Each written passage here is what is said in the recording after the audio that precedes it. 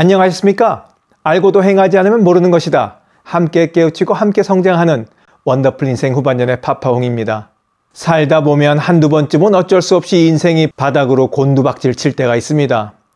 모든 상황이 좋았음에도 자신이 잘못해서 그럴 수도 있고 97년 모두가 겪었던 IMF 금융위기 때처럼 사회, 정치, 경제적인 문제로 인해서 인생이 180도 달라질 경우도 있습니다.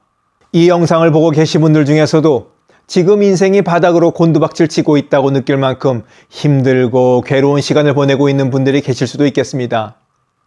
부부 문제, 자식 문제, 건강 문제, 직장 문제, 또 다른 경제적인 문제, 노후 문제, 어느 것 하나 녹록한 것들이 없지만 그렇다고 절망만 하고 있을 노릇도 아닙니다.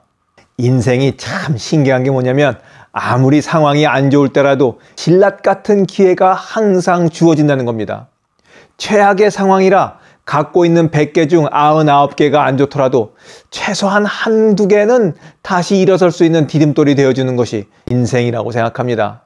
그래서 오늘은 힘들고 괴로운 시간을 통과하고 있는 분들을 위해 인생이 바닥을 치고 나면 더 행복해지는 이유에 대해 여러분들과 이야기 나눠보려고 합니다. 힘든 시기를 떨쳐내고 가뿐하게 일어서고 싶으시다면 오늘 영상 끝까지 함께 해주시기 바랍니다. 감사합니다.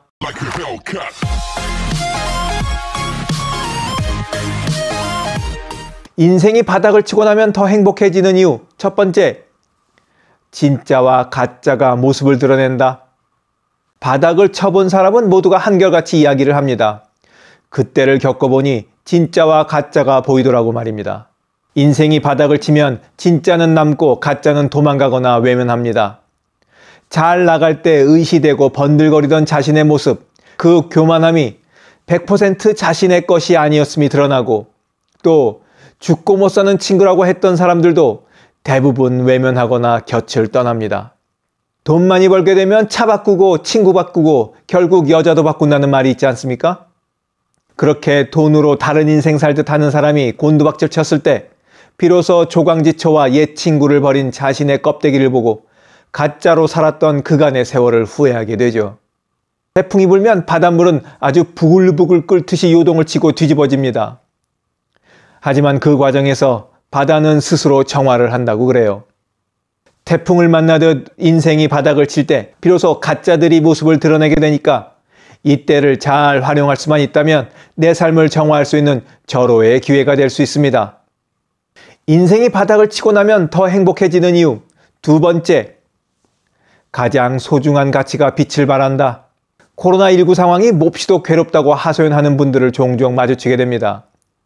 전 지구적으로 앓고 있는 이 환란을 겪어본 적이 없고 언제 끝날지도 모르는 기약 없는 이 싸움이 힘겨울 수밖에 없습니다. 하지만 코로나19 상황으로 인간의 오만함으로 경시해왔던 가장 소중한 가치가 드러나는 것을 목격하고 경험하고 있는 중입니다. 예전과 달리 집에서 오랜 시간 가족들과 보내보니 생각만큼 조화롭게 잘 지내고 계신가요? 바쁘다는 핑계로 돈을 더 많이 벌어야 되는 생각으로 뒷전에 밀렸던 가족의 소중함을 다시 깨닫는 계기가 되었고 모든 사람은 평등하고 상호 의존적인 관계라는 것 그리고 인간은 자연과의 조화를 빨리 회복해야 한다는 소중한 가치를 다시 일깨워주고 있습니다. 인생이 바닥을 치게 되면 배우자의 헌신, 부모님의 희생, 가족들의 소중함, 친구와의 진정한 우정, 뭐 이런 그동안 눈에 들어오지 않았던 인생에서 가장 소중한 가치가 다시 빛을 발하면서 드러나게 됩니다. 인생이 바닥을 치고 나면 더 행복해지는 이유. 세 번째, 위기에 강해진다. 우리 한국 사람들은 힘든 일을 겪어봤는지 상대를 판단할 때 남자라면 군대 갔다 왔어?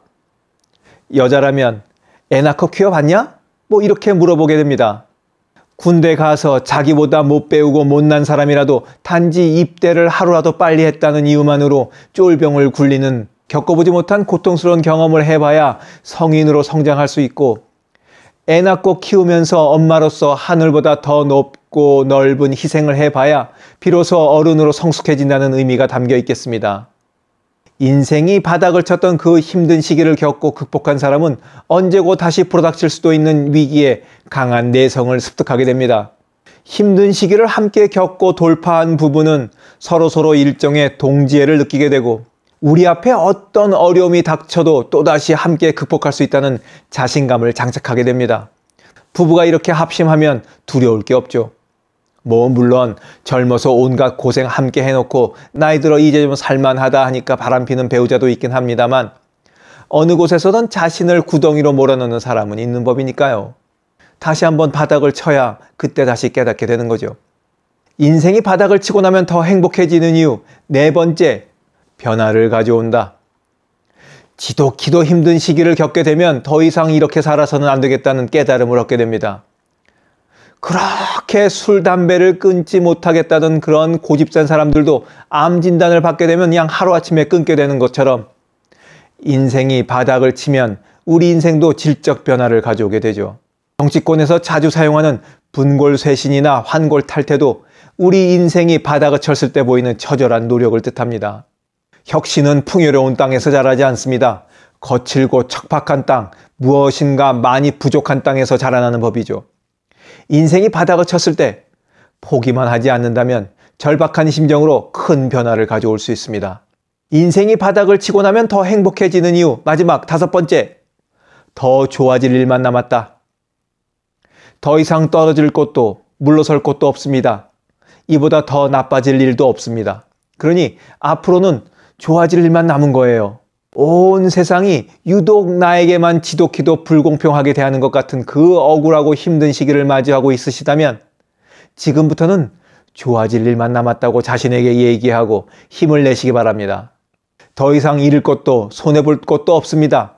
선택할 여지도 남아있지 않죠. 그러니 오직 할 수 있는 거라면 자리를 털고 일어나 앞으로 나가는 것 뿐입니다.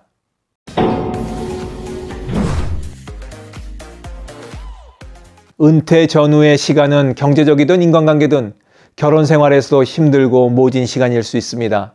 그렇게 인생이 바닥을 향해 떨어지고 있을 때는 솟구치려 몸부림치기보다는 차라리 더 깊은 바닥으로 내려가 그 바닥을 박차고 오르는 것이 훨씬 더 나을 수 있습니다. 포기하지만 않는다면 인생 바닥을 친 경험은 자양분이 되고 더 큰 행복을 가져다 줄 것이라 믿어 의심치 않습니다. 영상을 보신 모든 분들이 인생 바닥을 박차고 튀어올라 더 행복한 시간을 보내시길 바라면서 오늘 이야기 마치도록 하겠습니다. 원더풀 인생 후반전에 후회 없는 인생은 계속됩니다. 감사합니다. 짜잔! 자랑질, 지적질, 아는 채, 있는 채 하는 사람들에게 지치셨죠? 상대방의 얘기 경청하고 익은 벼처럼 겸손한 사람들이 모인 곳이 있습니다. 바로 네이버 카페 실버들의 전성시대입니다. 너무 가깝지도 너무 멀지도 않은 친구가 필요하다면 네이버 카페 실버들의 전성시대로 오시면 됩니다. 아래 댓글란 맨 위에 초대글을 올려놓을 테니까 클릭하고 들어오시면 아주 간단하게 회원가입이 됩니다. 아 참, 냉소적이고 비아냥거리고 자기주장 강하고 남 얘기에 이죽거리는 분은 죄송하지만 절대 사양합니다.